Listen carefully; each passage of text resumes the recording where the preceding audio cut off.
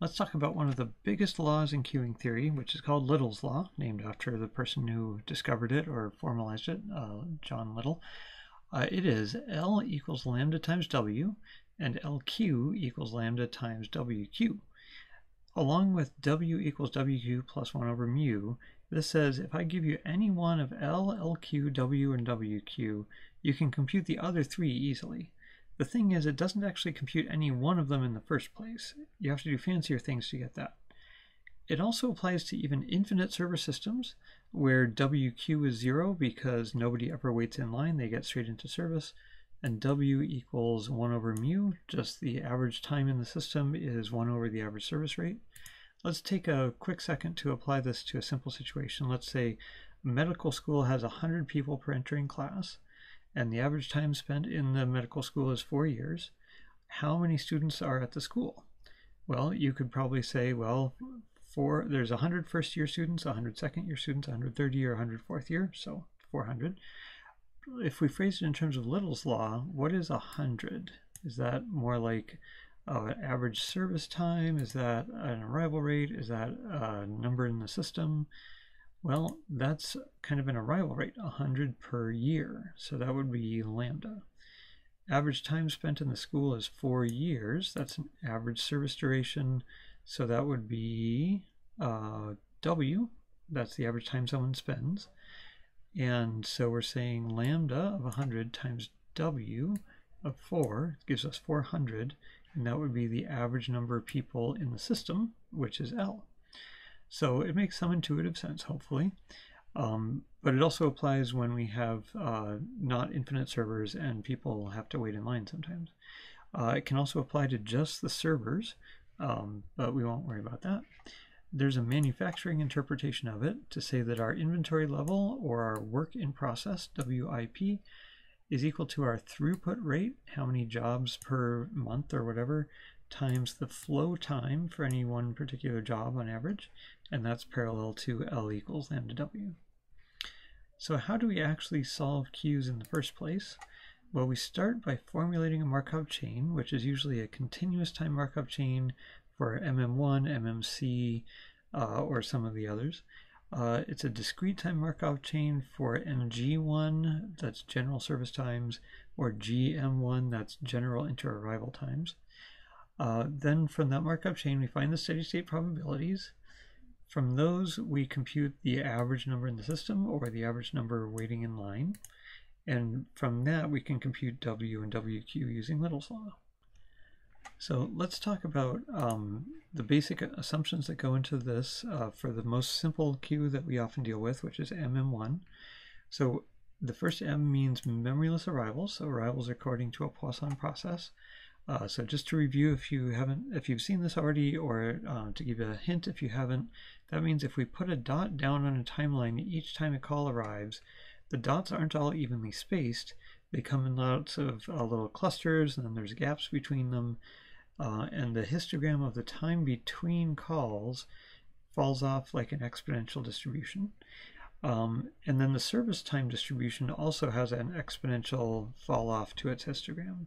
So that means the standard deviation of the service times is about equal to the mean, like the average talk time is five minutes plus or minus five minutes.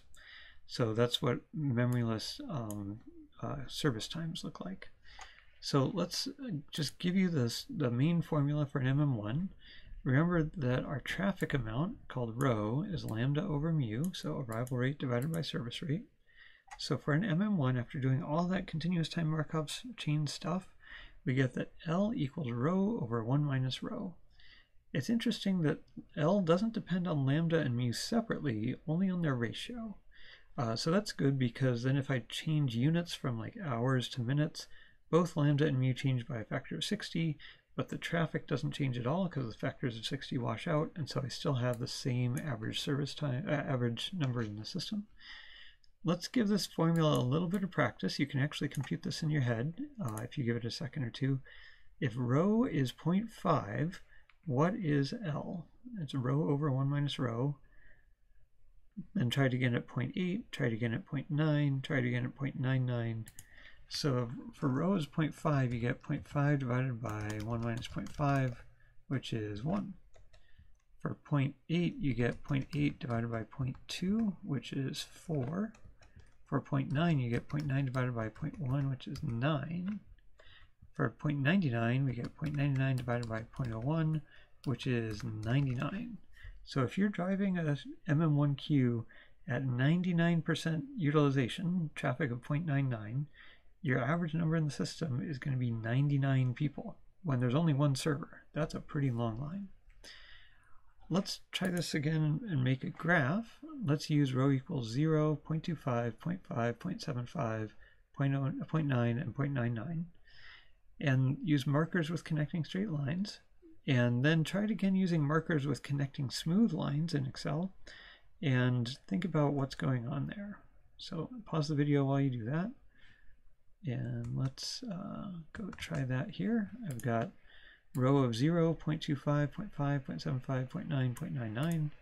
And I've got rho over 1 minus rho in my second column. And I'll just graph that markers with connecting straight lines.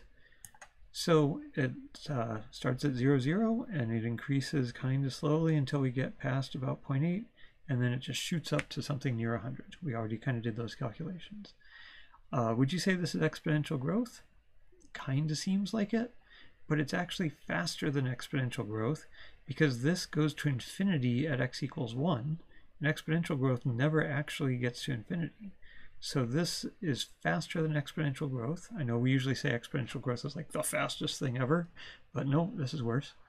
Um, let's try it with uh, markers with smooth connecting lines and see what happens. Um, now we see the smooth lines increase along with the dots up to 0.75, but then between 0.75 and uh, 0.9, the smooth line actually dips down a little bit, kind of so it can make that sudden left turn as it's mo moving up this way. Um, so it's kind of like a semi-truck swinging wide one way to make a sharp turn. But this gives the wrong impression that the average number in system actually dips as you increase the utilization. So that's why I hardly ever use smooth connecting lines because they can give the wrong impression in situations like this.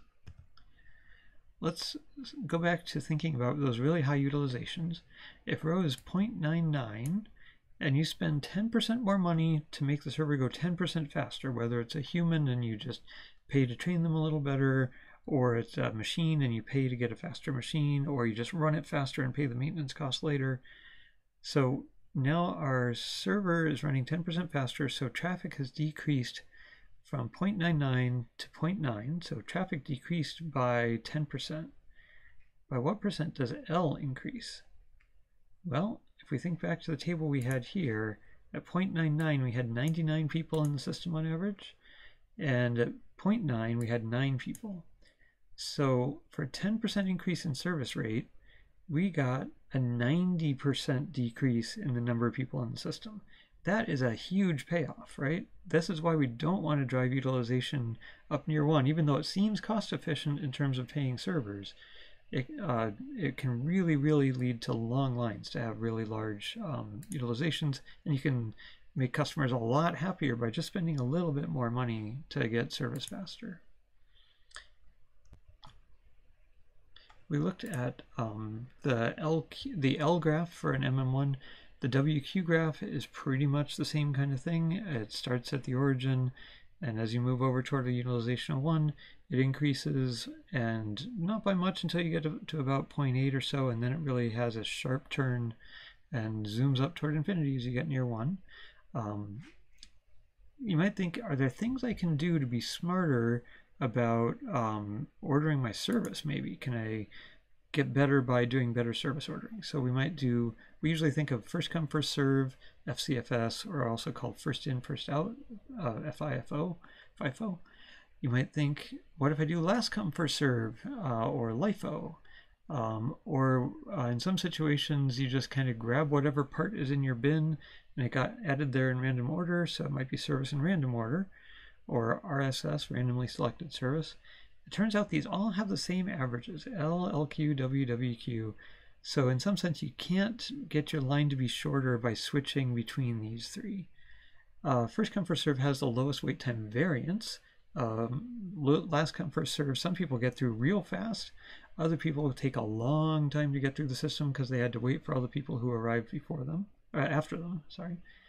So is there any way of ordering jobs that can actually reduce the average waiting time? Try to wonder what that might be. Well, turns out shortest job first can reduce the average waiting time. But the problem is then you need an estimate of how long the service time for each job is going to be. You can also do, in some cases, shortest remaining processing time if you can interrupt jobs and put on other jobs that come in um, in the meantime if they have a lower estimated time. But either of these can really slow down long jobs. Uh, you could also do round robin, and that's kind of what computers do. You give each job a little slice of time, like five milliseconds, and then go on to the next job, give that a little slice of time. Um, so all kinds of fun stuff you can do there. Um, some other important MM1 facts. Uh, the waiting time, if you get delayed, has an exponential distribution.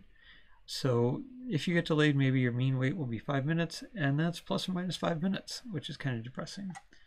The number of people in the system has a geometric distribution, which means its standard deviation is roughly equal to its mean. So if you have a mean line length of 10 people, your standard deviation is also 10. So you need to plan to have like 30 or 40 chairs there, like the mean plus three or four standard deviations.